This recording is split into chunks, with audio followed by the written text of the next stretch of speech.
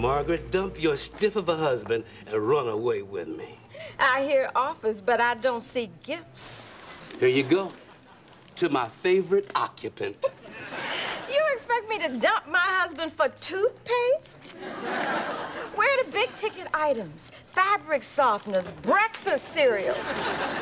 I can be had, but I cannot be had cheap.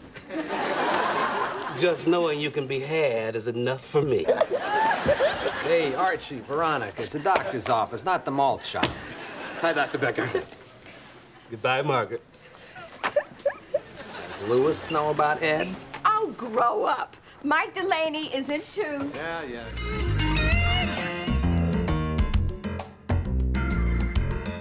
I have never been as disappointed with another person in all my life.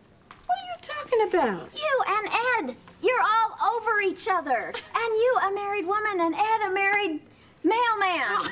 Oh, that is nothing. It's just a little game that we play. If there is one thing I know, it's when there's sexual tension in the air. That and when someone's cooking bacon. I can smell that a mile away.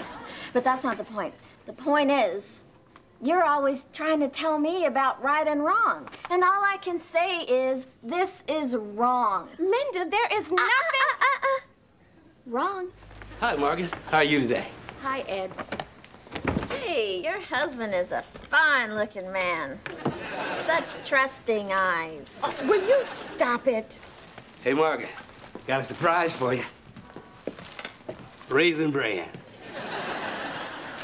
Oh, thank you, Ed. Anything wrong? No, just busy. Oh. Well, bye. Ed, wait. Sure, what is it? Ed, when we, you know, uh, kid around with each other, it is just kidding around, right? Well, of course. I mean, the, the gifts, the way we talk, that's just. You didn't think it was something else. Oh, no, no, I didn't. I was just afraid maybe you did. Oh, not me. I just thought we were having fun. I love my wife. Well, not always, but. I... Well, I, I, I love my husband most of the time.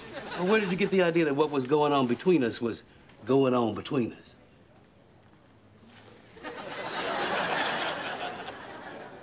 Oh, it's not important. Ed, I'm sorry.